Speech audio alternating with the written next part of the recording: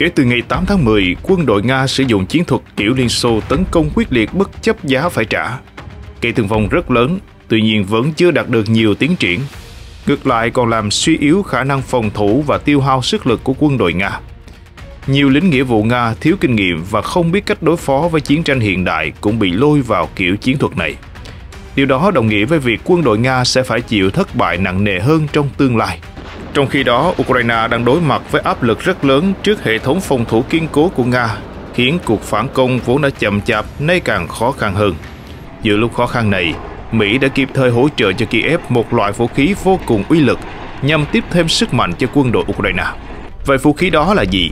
Và nó đã giúp Ukraine lập được những chiến công nào? Mời quý vị cùng theo dõi video ngay sau đây.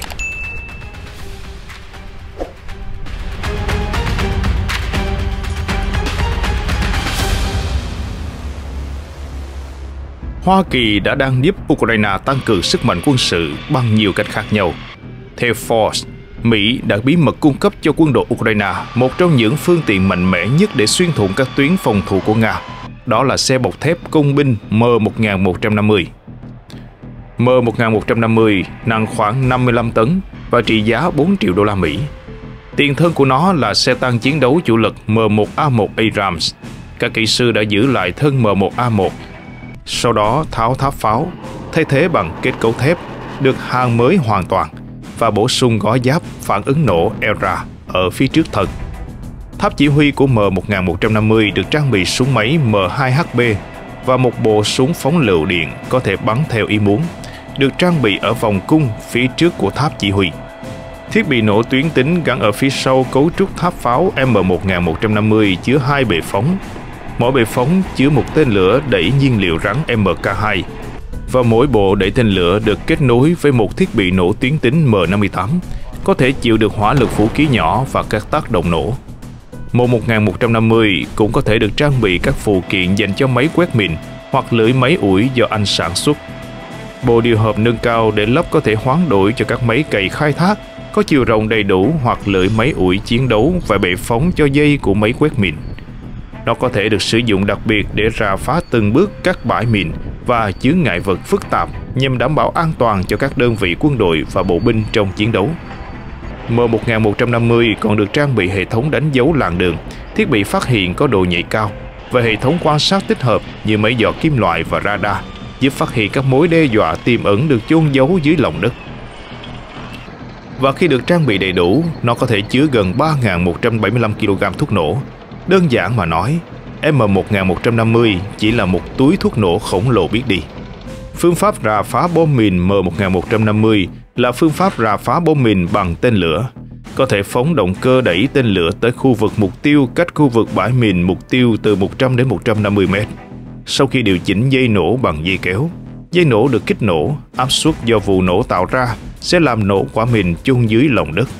Phương pháp này không chỉ có thể kích nổ mìn trên đường rộng mà còn có thể kích nổ mìn ở nhiều vị trí khó khăn khác nhau trong điều kiện đường xá phức tạp. M1150 đã hoạt động rất tốt trong nhiều cuộc xung đột quốc tế như chiến tranh Iraq. Mỹ từng gặp rắc rối với bom mìn giá rẻ và chế tạo đơn giản ở chiến trường Afghanistan. Tuy nhiên từ khi có được M1150 thì không còn trở ngại nào nữa. Kể từ cuộc phản công hồi tháng 6, quân đội Ukraine đã nỗ lực vượt qua các lớp tuyến phòng thủ có chiều sâu của Nga bao gồm bãi mìn, chiến hào và chướng ngại vật chống tăng. Người ta suy đoán rằng lữ đoàn cơ giới số 47 của quân đội Ukraine được trang bị xe tăng Panther của Đức và xe chiến đấu bộ binh Bradley của Mỹ. Mới đây, Tổng thống Ukraine Zelensky cũng đăng tải trên mạng xã hội rằng hệ thống phòng thủ NASAMS mới nhất do đối tác cung cấp đã được đưa vào nhiệm vụ chiến đấu và sẽ bảo vệ không phận Ukraine hiệu quả hơn. Ông cũng đề cập rằng gần đây ông đã nhận được một đợt hỗ trợ quân sự khác và đã nghe báo cáo mới nhất về những vùng chiếm đóng tạm thời và an toàn hàng hải ở Biển Đen. Ngoài ra, còn có tin rằng xe tăng M1A1 Abrams của quân đội Mỹ đã để tham chiến ở tiền tuyến Ukraine. Gần đây, quân đội Nga lại hứng chịu một đòn nặng nề khác khi Ukraine tấn công sân bay quân sự Tagarov ở vùng Rostov của Nga khiến một số lượng lớn trực thăng và máy bay đổ tại sân bay này bị phá hủy. Tại hiện trường khói dày đặc và một vụ nổ đã xảy ra. Máy bay quân sự bị hư hại là điều khó tránh khỏi, nhưng hiện chưa có số liệu thiệt hại cụ thể của quân đội Nga.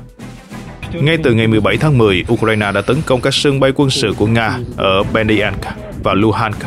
Quân đội Ukraine đã sử dụng ATACMS để cho nó nổ tung ít nhất 9 máy bay trực thăng cùng một lúc, khiến Nga thiệt hại nặng nề. Đừng quên, Ukraine đã cải tiến tên lửa phòng không S-200 với tầm bắn hơn 1.000 km. Cho nên việc Kiev sẽ tiếp tục tấn công các căn cứ không quân của Nga cũng là điều dễ hiểu.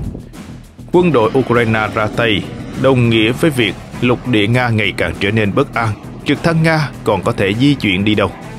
Hiện Ukraine đã tăng cường các cuộc tấn công bằng máy bay không người lái vào các mục tiêu quân sự của Nga và cường độ ngày càng gia tăng. Sáng sớm ngày 7 tháng 11, quân đội Nga tuyên bố đã bắn hạ 9 máy bay không người lái của Ukraine ở Sevastopol, Crimea, đánh chặn 8 máy bay không người lái khác mà không thiệt hại gì. Tuy nhiên, truyền thông Crimea cho biết người ta đã thấy những tiếng nổ lớn từ các căn cứ quân sự của Nga gần thị trấn Novofedorivka và Sakhi ở Crimea. Quân đội Nga có bị tổn thất trong cuộc tấn công hay không thì cần phải có thời gian để xác minh. Quân đội Ukraine cũng tấn công Siadov ở phía đông Mariupol thuộc vùng Donetsk do Nga chiếm đóng vào ngày 5. Trước đó, trước các cuộc tấn công thường xuyên vào Mariupol và Berdyanka, quân Nga đã biến Siadov thành kho đạn dược bãi đậu xe quân sự và có khả năng sẽ là căn cứ trực thăng vũ trang mới.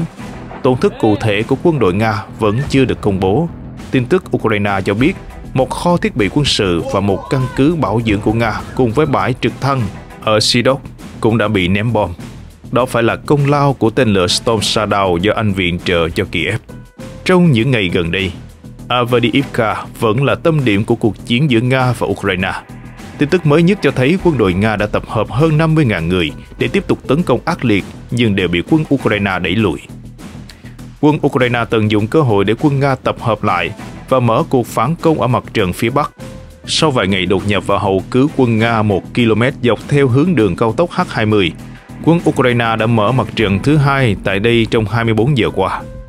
Quân đội Ukraine mở cuộc phản công ở sườn phía Bắc Radnohorivka và đang tìm cách cắt đứt đường tiếp tế của quân Nga đang bao vây sườn phía bắc Avdiivka.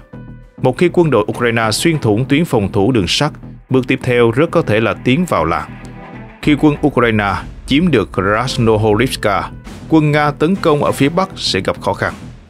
Ở sự phía nam của Avdiivka, gần Obitne, quân đội Ukraine đã tiến hành thành công một cuộc phản công quy mô nhỏ một số vị trí của Nga đã bị chiếm đóng và quyền kiểm soát của quân đội Ukraine ở sườn phía nam được tăng cường.